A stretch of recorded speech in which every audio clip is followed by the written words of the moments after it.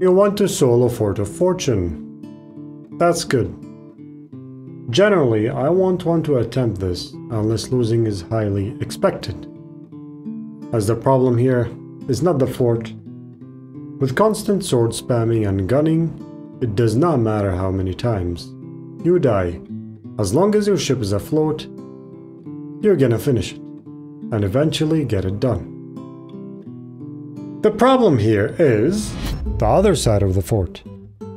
Thieves watching your progress from a distance, like hiding barrels in towers and tuckers in your grandma's basement.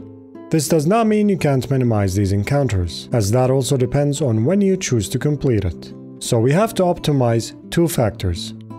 When we do the fort and how long it takes. I will show you the right time to complete it and the best strategies to take down the waves as fast as possible. All done during this live guide on my stream. And this guide is the viewer's request. If you have any requests, visit me on Twitch. Phuzzy here, bringing you honest guides and gameplays, so sit back, relax and enjoy.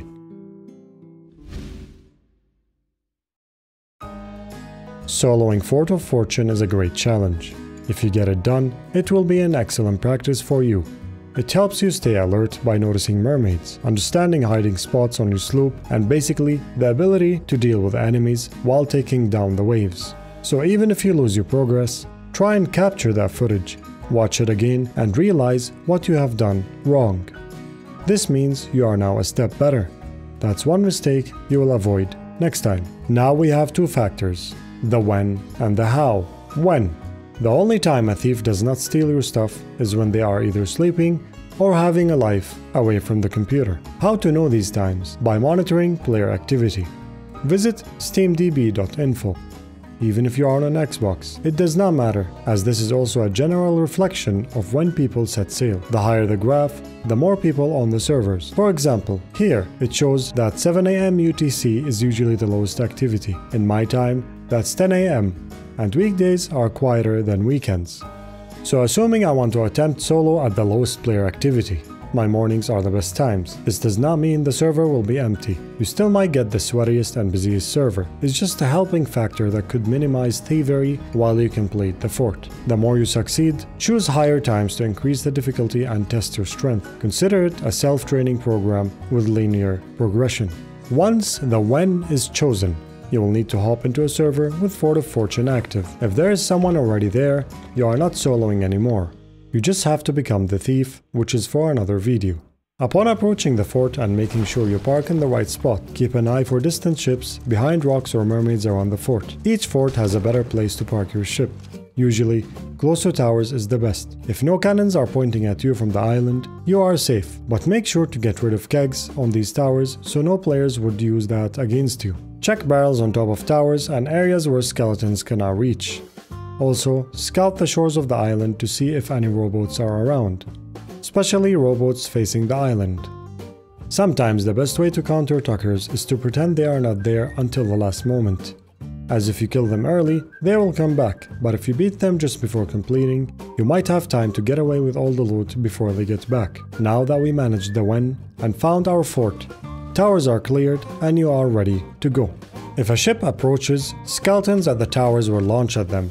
Keep an eye for empty towers that do not respawn. This means someone is there killing the skeletons repeatedly every time they spawn so they can hide. In my situation, this server was completely empty, but it was just a coincidence, as I even had the Reaper flag on and still no one came. Before starting, the number one item needed in a fort is a firebomb.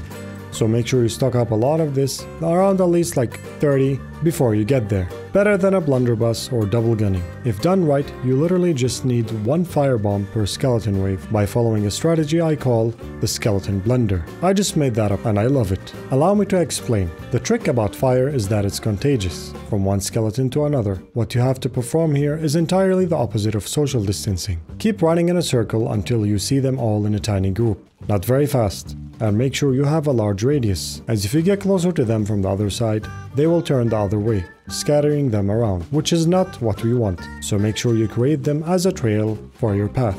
Once stacked, regardless of skeleton type, one firebomb will keep going back and forth between all skeletons until they die. Including the skeleton captains with red name tags. In the case of shadow skeletons, maybe you want to wait until daytime to try and perform the same strategy. The only issue with shadow skeletons is that they mostly spawn with pistols, quickly taking you down if you're in the line of sight. But it does not hurt to attempt the same strategy. Set them on fire, then use your lantern to activate them. Some of the skeleton orders that drop later might give you an Ashen Skull or Firebomb crate.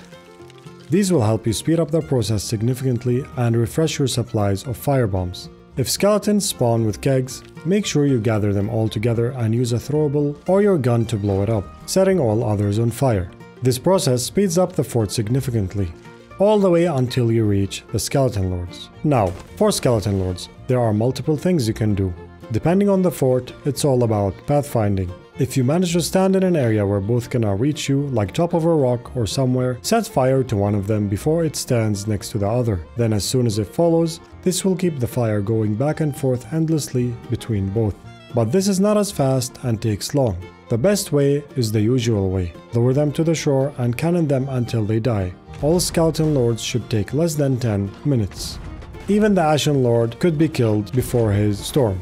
While completing the fort, keep checking the horizon every 2 to 3 skeleton waves, and by reaching the last lords, recheck towers, mermaids and rowboats.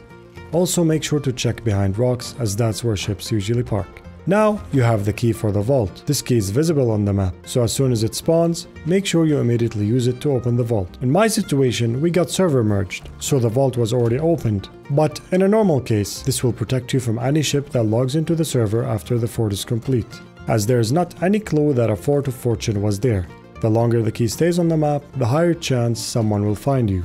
So use it as soon as it spawns. Now you are in a high risk and high reward situation. Tuckers or ships always use these kegs to their advantage. I usually blow them all up, and after that I recheck that my ship didn't take any damage, as sometimes if it sparked close, this significant explosion could affect it, so take these kegs at your own risk. Now, if you want to take the kegs, stack them to the side of the vault. Take everything out and harpoon it to your ship from one location. Once done, do not harpoon the mega kegs as sometimes they blow up, and recheck the horizon before putting them on your crow's nest. Now that you have the treasure, never sell at the nearest outpost. Always go to an unexpected one that is further to avoid any players hiding at the outpost. And if you have kegs, make sure you do not go through the storm. I'm always lazy to sell, so I invited my friend to sell with me as he needed the loot, but Fort of Fortune was soloed without any issues. If my content is useful to you, please consider subscribing, and while you're at it, allow me to make a small announcement. You will see other videos I uploaded to my channel, like Subnautica and soon New World. I always get comments like, please do Sea of Thieves, or are you quitting Sea of Thieves every time I upload another game. Now that is great that you guys enjoy my Sea of Thieves content the most, and I'm very grateful. But keep in mind, if I upload other content, it does not mean less Sea of Thieves in any way. It is the lifeline of my channel and will always be. It just means that I want to share some of my other adventures with you and hopefully make guides about other games too. Thank you for using my channel. Phuzzy here. Have a good one.